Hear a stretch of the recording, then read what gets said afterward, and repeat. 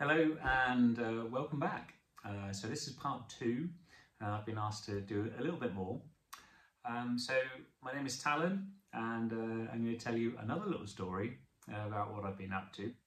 Uh, so following on from the first one, if you didn't, if you haven't seen it, then very briefly, I was a PE teacher back in 2003, loving life, hoping to go on to become a head teacher um, and I had all these dreams and aspirations about what I wanted to do. Uh, then a week after that photograph, I had a motorcycle accident. Uh, I was on my way to a rugby match. Uh, obviously, I didn't get there, and my life took a very different turn. Uh, I ended up in hospital. Uh, I'm now paralysed from this level down, uh, and when I went to hospital, I went through all of those feelings and emotions um, associated with traumatic change, uh, from anger uh, through to resentment and frustration uh, and to hatred, uh, hating the world, hating who I was uh, and all of those people that could do the things that I couldn't do, which was simply get up and walk about. Obviously, got over that. Don't hate the world at all. Um, and I found out that there's lots of things I can do. But at the time, I was really unsure of what I could do and I didn't know of the opportunities that were out there. Um, I did find out about skiing and off I went. Um, one of the things that I thought was never, ever uh, going to happen again was obviously riding a motorcycle uh, because you're paralysed. You can't possibly ride a motorbike. Um, but then in 2005, uh, I was out in Winter Park uh, for a bit of training and I went on a snowmobile and you sort of soft ride the snowmobile and you use a thumb throttle and the whole thing was wheeling about. And I and I managed to stay on it. And I thought you know if I could stay on this snowmobile um, I remember riding a motorbike and uh, and that was far far less uh, sort of bouncy. Anyway it was an idea uh, back in 2005 and that sort of sort of stayed with me and I started to think about it and I started to to wonder if it was possible for someone who was paralysed to ride a motorcycle again. And then, being the competitive type that I am, I thought, I wonder if it's possible for someone who's paralysed to race a motorcycle. And I would have to, and I would race against able-bodied. So, um, you know, the more I looked into it and the more I asked people, the more people said, no, it's not possible and uh, it's never going to happen. And, you know, I thought, well, you know, uh, at the time, I was I was I developed this step-by-step method uh, that I used to go from where I was in bed to the 2010 Winter Paralympics. That was the step-by-step method that I was following. And I thought, well, I can just use the same method to plan from this crazy idea of getting back on a motorbike all the way through to racing a motorbike. So I started to ask more people about what would be the best way and the you know the most progressional way for me to go from not even riding through to racing. And they explained about the different types of motorcycles and the different type of racing. Uh, and I started to formulate a plan and I thought, you know what, let's put it into the step-by-step -step method and, uh, and see if it's possible. Now, a few years after uh, the, the idea, I finally got to a point where I thought, you know what, I think I'll do it. And so I went into the showrooms and I looked around and I tried to find a suitable motorcycle. Um, I couldn't find a suitable motorbike, so I bought the most powerful bike I could possibly get, which at that time was a GSX-R1000 K6. So completely ludicrous, completely uh, the wrong thing that I should have done. But at the time, I was carried away. I was like, oh, I'm going to get the, the latest and greatest. Um, so this is a hundred and well, at the time it was 170 horsepower. It was a thousand cc, and it was far more than I ever needed. But you know, shiny, shiny. Got distracted. Maybe should have got something slightly smaller, but at the time I didn't know any better. So I bought this bike, a thousand cc, and then I needed to adapt it for my use. And obviously I can't move below here. So I had to think of other things that I could use in order for me to be able to ride it. Um, and the first thing that I needed to do was obviously changing gear. Um, so there is an electronic solenoid um, uh, with a little piston that sticks out the bottom. Uh, and when you press buttons on the handlebars, the piston goes backwards and forwards, and that helps to change the gear. So you've got the you've got the buttons here, and this is the little piston uh, above the, foot-operated gear lever, and that will change the gear for me. Uh, and then I was worried about the rear brake, so I couldn't use my right foot to do the rear brake. So there are various different options, and one of them is called a K lever 2 system, and that's this one over here. Uh, and you can see that there are two levers. So the top one is the front brake, and the bottom one is the rear brake. And then there was the case of well, coming to a stop. I had looked on videos uh, on YouTube and various other things, and I see that there was a person in America who had a set of these landing legs, and I sort of looked and I I, uh, I copied them. I copied the idea and built these little retractable landing legs, which were at the back of the bike, and when you pressed a button, a little actuating arm would hopefully swing the legs up and out of the way. Uh, and I had no idea if this was going to work. Um, the other thing I needed to do was to put my feet, uh, and if you can see just about there, um, where the foot pegs are, um, I thought about different ways of holding my feet in, and I came up with the idea of let's have an old set of bicycle toe clips. Uh, and the bicycle toe clips would stop my feet sliding forward. So I put Velcro on the, the foot peg, and then I put Velcro on the bottom of my boot. At the time, I wasn't travelling very fast, so I didn't worry too much about my legs. Uh, but then I, I subsequently found out that I needed to do more things in a bit. So those are the basic adaptations that I thought might work. And I went off to a disused airfield, uh, and I only had my uh, had my godson, his mother, and his sister, and they were there to help me. No one else knew that I was doing it because I didn't want a lot of people to know that I was doing it in case it failed, uh, because it would have just been a big waste of time and energy. Uh, and I certainly didn't. I certainly didn't need my parents finding out because uh, obviously mum and dad would be a little bit stressed about me getting back on a motorbike uh, when uh, they saw the motorcycle as something that caused my paralysis. So, went to a disused airfield in Cornwall. It was a beautiful sunny day. Got on the bike, went to start it. Nothing happened. Obviously, the the actuator of the gear shifter and also the actuator of the rear uh, stabilizer legs drained the battery because motorcycles only have a really small battery. So luckily we got the guy to come along and he jump started the bike and got the bike going. Then it was time for me to ride and I was I was I wasn't worried about me I was just worried that it wasn't going to work. I wasn't worried about hurting myself. I just thought, have I wasted my time and effort and my money in this project. That was my main concern. As it was, turned out it was fine. I drove off, a bit wobbly, the landing legs came up, and then I started riding again. And I felt free.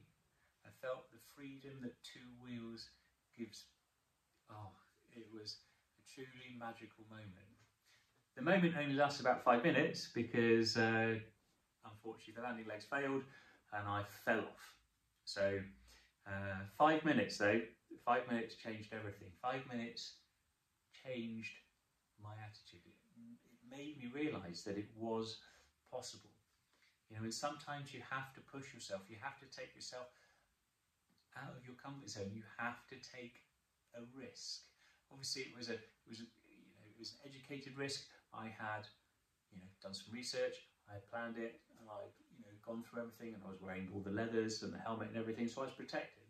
Uh, so it wasn't sort of a dangerous risk, but it was a risk nevertheless.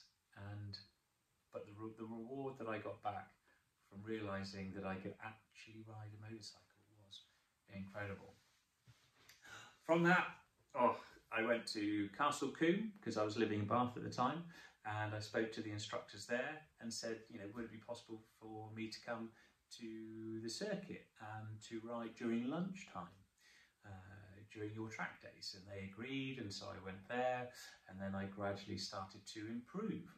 Uh, and we got rid of the landing legs because we realised that they, they weren't always they always uh, they didn't always work, and sometimes they came down uh, by themselves when the electrical stuff failed because of you know the wiring and all the rest of it. So we developed a system where two people would hold the motorcycle, one at the front and one at the back. And when it was time for me to go, I would put the bike into gear, the person at the front would move to one side, and the person at the back would hold the motorbike, and then I would just drive off out of their hands. And once you're moving, you're balanced. Uh, and then the same people were there when I came back into the pits. You know, they would stand there with their arms up, and I would aim for the person, and they would catch the front at the same time as you would catch the bike. So we called these people the launch crew, and we developed this system of me being able to start and stop with two people, which was fantastic. So then I, I didn't have to worry about the landing legs and whether or not they'd come up and whether or not they were going to come down at the end of each session. And I gradually started to improve. What I then needed to do was to get some better instruction. Um, see, the uh, instructors at Castle Combe were fantastic. Um, but as with everything, you've got to go and find, you know, the real true experts. And luckily for me, uh, on one of the days, I was out on a track day. I had uh, this chap, and he's called Sylvain Guintoli, and he is a MotoGP racer. So he's raced at the, pinnacle of racing. And he came out uh, and he spent some time with me instructing. And I have had other people. I've gone and done things like California Superbike School. Had Nice Bike Edwards so all of these people were helping me to develop my riding so that I would be smooth and fast. Because if you're smooth, you're generally fast. Because one of the things I wasn't going to do was turn up to go racing and be a mobile chicane. I didn't want uh, to be in a position where I would cause problems to other racers. Uh, so I wanted to know that when I got to a, a, a pace that was suitable I would seamlessly fit in to the racing along with everybody else. And I wouldn't be this awkward sort of mobile chicane that everyone had to sort of worry about. Um, uh, and that was something that I was going to be able to put forward to the Autocycle Union. And to start off with, when I first applied to the Autocycle Union, they said no, you know, we, we're, not sure that we can have paraplegics racing. Uh, and they listed a whole load of, you know, issues that they had with someone who was paralysed going out and racing. Um, but they said, you know what we'll do is we'll let you have a, a, sprint license and a hill climb license so you can go and do hill climbs and sprints. Because with this racing, you go one at a time. So it doesn't matter if anything happens to you when out, you're out on circuit or out on this track or out on your hill climb because it's only one person going at a time and they wouldn't start the next rider until you'd finished. And so this was my first experience of racing, and the first experience of racing was at Curborough in 2011. Uh, and I had my uh, good friend Russ along with me, uh, who was helping me to launch me from the timing beam and there to catch me when we got back. And it was only him and me. You know, we had to rely on uh, the uh, friendship and the and the motorcycle family of, of the other people that were there, the other racers that were there to, to help us when came back in. Uh, and this is a big thing about the motorcycle fraternity is that everybody supports each other uh, and I'm eternally grateful to those people uh, because without their support, without his, Russell, uh, and, and, and, all the people that have gone on since, uh, I wouldn't be able to do it. I wouldn't be able to do it alone. But it was the first time I took part in a competitive race. Um, I, I think I came last, um, but you know, I wasn't embarrassed. Uh, so I then started to continue to practice and I started to race something called a mini twin. So it's a SV650 uh, and it was limited to 72 and a half horsepower. And we believed this was going to be the way that I could get into racing and it would develop my racecraft.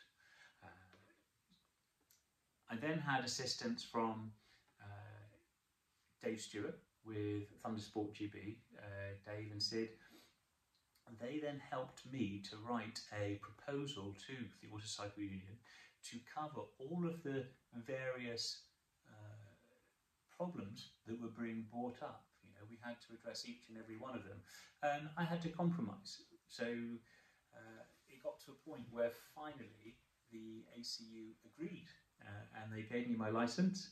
And uh, in 2012, I made history by becoming the first true paraplegic to gain an ACU race license and to go out and compete against able-bodied racers. And so some of the you know, concessions that I had to make was that I was going to start from the pit lane. And so here we've got uh, Colin, uh, Colin who's also racing with uh, Thundersport GB. Uh, he was helping me uh, and guiding me and being supportive. Uh, and he was there at the start and I had to start from pit lane. So everyone else went onto the grid and then when they started, as the last person went past Sid, who's got the green flag there, Sid would wave his green flag, and off I went, and I would join the race. Uh, and, you know, I was last by miles at the end of the first lap. Um, but by the end of the race, I'd actually caught up and overtaken about eight other riders. And so, uh, do, do, you know, they looked at it, and Sid and Dave, and they were like, you know what, I tell you what, let's, let's see if we can get you to start at the back of the grid. And so then my launch crew would be at the back of the grid. They would hold me, and then when the lights went out, I joined the race straight away. So I didn't have to wait until everyone had gone past the, the pit lane exit. Um, and it was uh, Sid and Dave who took the risk. You know, they took a risk on me as well. And, you know, they said that, you know, there was a problem, it would be on their license. And the concessions that I made was then I always start at the back of the grid. Uh, I was limited to 72 and a half horsepower, so that meant you know I could race the mini twins. I could only race at certain circuits, so mainly circuits that didn't have a lot of gravel, uh, because the ACU were concerned that if I went into the gravel, then I would have a great deal of difficulty to get out of it. Um, so those were the concessions that I made. And so for the first two years of racing, uh, I didn't do more than three or four races uh, in an actual year um, because of the concessions that I was having to make. But I was there and I was racing. And at the end of the very first race, um, most of the races come in through a, a shortened version of the circuit. Uh, I had to go all the way around it because it meant coming in through the paddock and, and that was just too dangerous. So I came around the full length of the circuit and all the marshals came out and they were waving their flags as though I'd won the, the World Championship. So I just I just burst into tears. Um, it had been so emotional uh, to get there because I was told that I couldn't do it, and then maybe I could, and then I couldn't, and, and it was up and down all the way, even to the you know the day that I went on the race. I was still nervous that the you know the governing body was going to stop me from doing this, stop me from achieving this goal that I'd set myself and it was such a relief to do it. Not just for me, but for all the paraplegics that I knew that loved riding and that would love to race. And I thought, if I've done it, they will be able to do it as well. Um, and what was really special on that particular day is the, this chap here. Right at the time, he's 15 years old, and he's called Josh Daly. And um, he gave me the trophy that he won for the race that I was in because the race had uh, different classes in it. So there was um, 400s, uh, mini twins and super twins. And, and he won the race on the 400 and he gave me the trophy that he won. Um, it was a very special moment and I've still got the trophy uh, and I know that Josh is now racing in the roads, he does the TT, it's fantastic to see the person he's become. But a true gentleman, it just went to show what sort of people are there at the racing. You know, 15 year old lad takes it upon himself to come up and give me his trophy, and it, made the world to me. It really did, and it just it brought home how special uh, racing was. So I then started to try and improve and get quicker and you know what I found is that some people didn't even realise I was paralysed. So this particular race is at Cadwell Park, and I had a real old ding dong uh, with this guy behind me. We had battle, we were overtaking each other non-stop uh, throughout the entire race. It was absolutely fantastic. And I went to go and find him afterwards to say how much I enjoyed racing with him. Uh, and I wheeled up, I saw his bike and I wheeled up to the, the gazebo that he was in. And I said, oh, hi, you know, I just wanted to say what a great race. And he looked at me, he goes, oh, what, did you see it from the side? I said, no, I was I was out there racing with you. He goes, yeah, but you're in a wheelchair. I said, I was, I was number 74. We were overtaking each other all the time. And he couldn't believe it. He thought, oh, I just I just thought you were riding old school, You're like not moving, because some riders do. They just sit stock still and they don't get off the bike. And he said, that's the only thing I could think about. I didn't think that you were in any other way. Uh, I just thought you were a racer. And that was fantastic to realise that people just thought I was a racer. And that's all I sort of ever wanted to do was just to be a racer. And it was, it was a wonderful thing for me. And, and he couldn't believe it. He was absolutely stoked. We went out and we had even more great races during that, uh, during that weekend. And so it's amazing to see people's attitude were beginning to change. And, and, and it was very important for me to realise that other people just saw me as a racer rather than anything else. However, like I'm very good at crashing on skis, turns out I'm also quite spectacular at crashing on a motorbike. Um, in 2013, I was racing at Assen. It was an endurance race, and we were the uh, a disabled racing team when I was on the last leg, and I was 20 minutes away from finishing this endurance race. And I had a mechanical failure. The rear wheel, uh, I went well. I went into a false neutral going into a corner, so the bike was just freewheeling. So I went in really, really fast, um, and as I basically came bike was leant over at its maximum, the the gears re-engaged and it locked the rear wheel. So the back wheel came back on me uh, and the bike flipped. It's called a high side. The bike flipped. Now at the time, what I discovered is that as you go quicker and quicker, the knees started to flap about and you start to move in the seat. So we used to put straps across the front of the knee. So on a set of leathers normally, on your outside knee, there is a hard sort of puck, um, a bit like an ice hockey puck, and it's called a knee slider. And that is where people sort of get their knee out, and they put it down, and it slides across the ground, and they know that that's their, their angle, their maximum angle that they should be uh, sort of riding at. Obviously, for us, we don't, uh, for I say us, for paraplegics, you're not sticking your knee out, but what you do need is you need to be stable. So we would take the Velcro patch off with the, with the puck, as it were, and uh, we would attach straps to the side of the bike and then wrap them around our knees with Velcro straps. So that stopped the legs from being pulled out. What I hadn't realised is that Velcro can be really, really strong. And so, in this particular race, when the bike came round and flipped and high-sided and started to somersault, I expected to come off the bike. Uh, the Velcro, however, held me on the bike, and so the bike was somersaulting down the track uh, and I was strapped to the bike and I couldn't come away from it.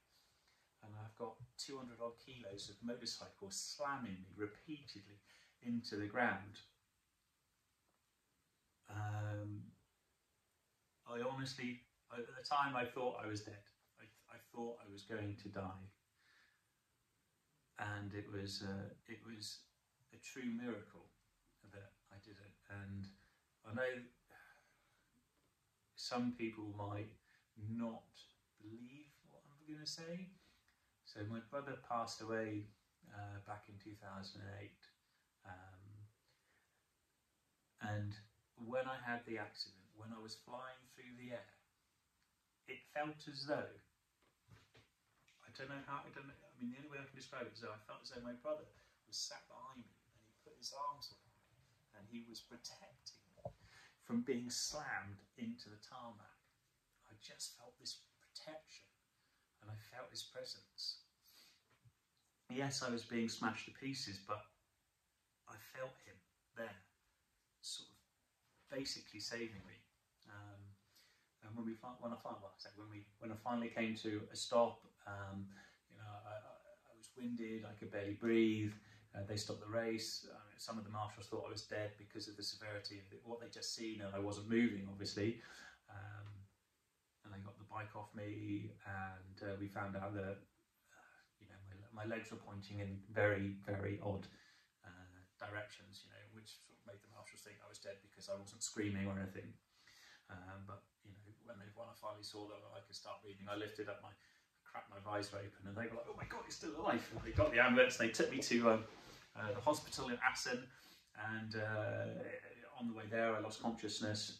Uh, I was taken in and apparently I was, you know, I was operated on straight away um, because the, I shattered the right femur and the bones had nearly had nearly cut this femoral artery, uh, which would have mean I, would be dead in just a matter of minutes. So they operated on that one straight away, uh, and then what they then found out is that I'd shattered the left ankle. Um, the next day I was woken up. I finally sort of came around from the operation of uh, having the right leg pinned, uh, and the doctor said, "Oh look, you know, we're uh, we've had to pin your right leg. Um, you're very lucky that you didn't cut your femoral artery. You could have died. However, what we're going to have to do is we're going to have to amputate your left leg." I was like, "Oh no, why is that?" And they went, "Well, shattered the bone so badly in the in the ankle and the foot that we can't recreate a walkable ankle joint. So we're going to have to to cut it off so that." Um, you know, you'll have to walk with a prosthetic. That's right, well, don't, let's, let's not worry about that. I'm not going to walk again.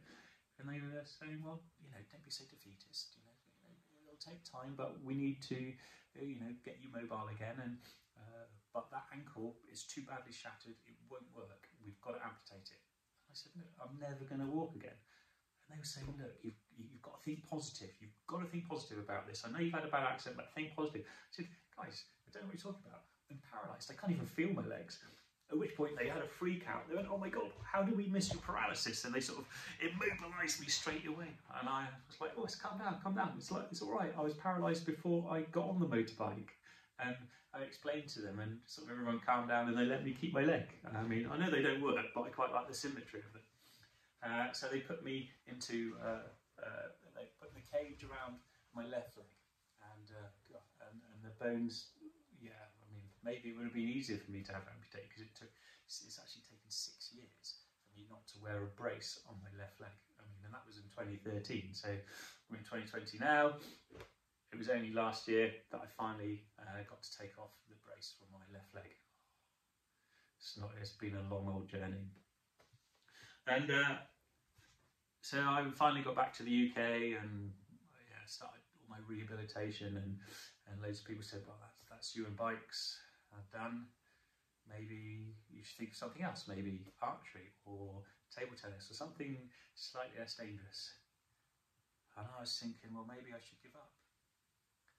And I remember what I always say to people when I give talks is you, you can't ever give up. You've always got to give it at least one more go you never know what's going to happen. And I'd only just started out on my racing career, and I was thinking, well, maybe if I if I give up, maybe I'm gonna I'm gonna resent that fact. maybe I'm going to, to I, don't, I don't know what I could achieve. And so I decided not to give up. And we always give it at least one more go. Uh, I then managed to get some funding uh, for the race team, and we were supported by some solicitors, and uh, and I started to improve again. So I'd reached a level, and then I had the accident, and I came back down, and then it took me a while to build up my confidence again. And also, I was sat differently, so I've still got a brace on my left leg.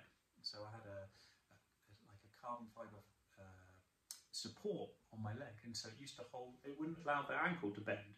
So my left leg sat at a slightly different height than my right leg, and so you know I had to learn to ride with my legs and my hips at a slightly different angle. But found a way around it, and I suddenly discovered that I could go a little bit quicker. I, I got I got my confidence back. Um, I was and, and, we learned that we didn't need quite so much Velcro on the knees. Um, and then we started to grow the team. So it wasn't just me. Uh, we got another paraplegic, Steve, uh, and then we had a leg amputee, Louis, uh, and then we got another team member, uh, Will, who's another leg amputee. So eventually, by the end of 2015, there were four of us racing in the racing, which we call Talan Racing. And um, there was a film made, and it was called Dream the Impossible. Um, and uh, you know, you can go and see it. It's, uh, it's about 90 minutes long. Uh, we don't make any money from it. We don't get it, you know. But uh, the, the, production company that made it, Speechless, did a fantastic job. And actually, it's a really lovely film about four stories of four individuals of how they had their lives changed, and each one of us is injured through a motorcycle accident. and each one of us has got back on a bike and now races the motorcycle. So quite an interesting story uh, of individuals, their stories of resilience and the challenges that they've overcome in order to, to get back on the very machine that paralysed or, or caused their uh, amputation go on to race them. Yeah, it, it, I was very pleased to be part of such a wonderful project. Uh, my own racing continued. I started to improve. Uh, I then started to race a different type of bike, and so now, because we I did the groundwork um, with the Autocycle Union, so anyone who's paralysed now can just basically get their license from a club and go off and race any capacity of motorcycle. You know, I'm now racing a 600, and I've become an ACU race instructor. So that's me out instructing someone who is able-bodied how to be a quicker racer And I instruct all different types uh, of, of, races and uh, ages as well. So from 13 years old all the way up to sort of 50 year olds. Uh, I'll instruct whoever's whoever's there. You know, I'll, I'll go along and, and instruct and, and, try to help them become a, a faster and safer racer. Um, but I did need to do something else. I needed to put the demons to rest finally. So what I did was I went and bought a bike that was an exact copy of the bike that I was paralysed on. Converted to a race bike, we then I then painted it exactly the same colours as the bike that I was paralysed on. Called it Doris because Doris isn't too scary name. And then Doris and I went out we went racing. And Doris and I did really, really well together. Um, in fact, the very last race that Doris and I did together uh, before I, I sold Doris, um, we qualified in third in our class. Couldn't believe it. That was practically a front row start. Um, but I had to start in 44th all the way at the back because I'm still starting from the back of the grid. But I didn't want to give up. I didn't want to just say, you know what, okay, I'm going to start from the back of it, never mind. I'm going to fight it. And it was really wet conditions. Uh, and Doris and I did exceptionally well, and in the first lap we overtook 29 riders. Well, we made 29 places further forward, so um, that was an incredible start. And I carried on, and I finished sixth overall. So it's amazing what you can do if you don't give up. You keep on fighting. You know, even sometimes when you get your setbacks, which for me is always start at the back of the grid. Um, but being able to put those demons to rest and uh, and finally realizing that I am in charge of my life, not an accident. Um, I'm the person that makes the choices, uh, and that was very, that was a very worthwhile risk to take. And out of everything so far that I've done, the greatest thing has been this, the bike experience. So when I started to do track days, I started to realise the immense feelings of freedom that I was getting. And I knew there had to be other people out there that would enjoy the same feeling, but maybe they, you know, they didn't have the same uh, access uh, to, to, funds to buy a bike or uh, to people to help them. And so I set up the bike experience uh, along with uh, Russ, who had helped me on my very first race. And we created the bike experience to advise and teach disabled people how to ride motorcycles. And since the very first uh, sort of day the first session, we've helped of the charities now what? So we started in 2011, we're now into our ninth, tenth season. Obviously, 2020 is a bit different because we've got COVID and we're not doing anything at the moment. Uh, but we've helped over 400 disabled riders uh, get on a bike. Now, some are returning to a motorcycle, having been injured because of a bike accident. Some are coming back to riding because of some other form of injury uh, or illness, and some have gone on a bike for the very first time because they never thought it was possible that they could ride. So, you know, they've had cerebral palsy or they've had polio or any one of, uh, you know, a hundred different reasons of why they may not have got on a bike. Um, but we have a variety of different bikes which are adapted uh, and we can help people with disabilities. Uh, so long as you've got one arm that works, we can help uh, get them riding again. And there are also people that you know, the, the level of their injuries is uh, such that they aren't able to ride independently. So what we do is we give them an experience. So either we sit them on the bike and we start it up and we let them rev it, or you know, uh, or whatever we can do uh, to give them an experience of being by a bike or sat on a bike feeling the noise and the vibrations and the, the other senses that go with it, as well as riding. Um, but it's great to see that a lot of people have uh, come through the bike experience and then gone on and done other things. So some people have come to the bike experience and then gone on to race. Some people have come to the bike experience and then gone on to ride on the road. Others have come and gone on and done different things. Um, you know, one chap came, didn't think he could ride a motorbike.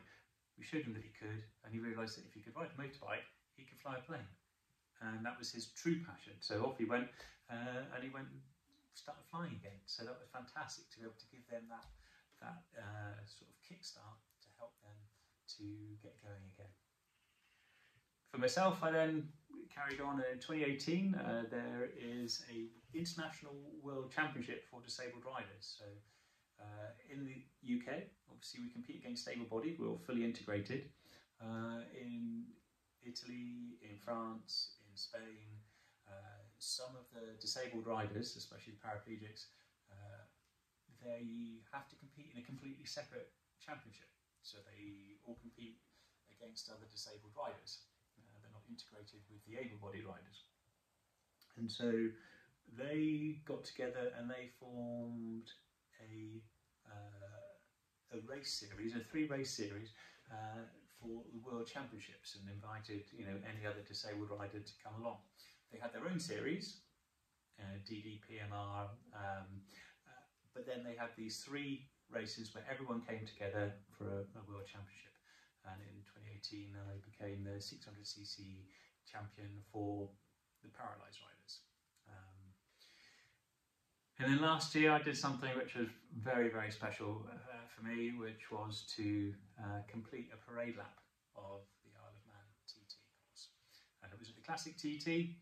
Um, there's only been one other paraplegic that's managed it, uh, I was able to go out and uh, enjoy wonderful conditions around the Isle of Man and do a parade lap and raise money for uh, the Bike Experience charity.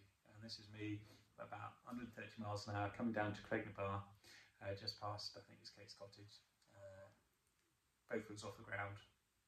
The most truly, truly exhilarating and scary thing that I've ever done. And my average was 90 miles an hour, which we think is the fastest that a paraplegic ever gone around there. There's only been one other. Um, but to realise that some of the people go around there at 135 miles an hour average, it, just blows your mind that they can go that fast. And I'm, you know, truly in awe of all of the riders that do it, who race it. You know, many lessons learned. Uh, the, the main thing is is to never give up and to trust this energy that lives inside you. So we all have an energy, we all have resilience to help us keep taking the steps forwards, even when we think that we can't. You know, you, you've I call it the little person inside. You know, you've got that that power and energy, and you, you've got to tap into and use it and trust it. Trust yourself, and it's amazing what you can achieve, even when obstacles are put in your own way.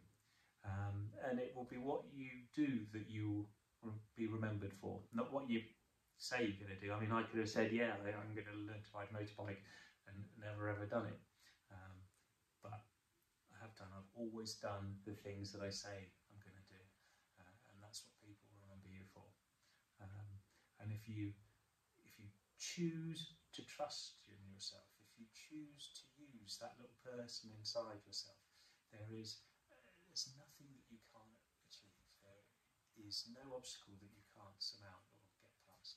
You know, you can go beyond ordinary, uh, and that's been my choice, and I hope that you will make the same choice as well. So, thank you very much for listening. Use a little person inside, believe in yourself, and go beyond ordinary.